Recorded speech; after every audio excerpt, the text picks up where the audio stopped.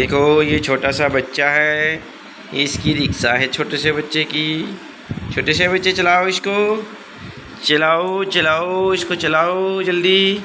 चला दो चला दो।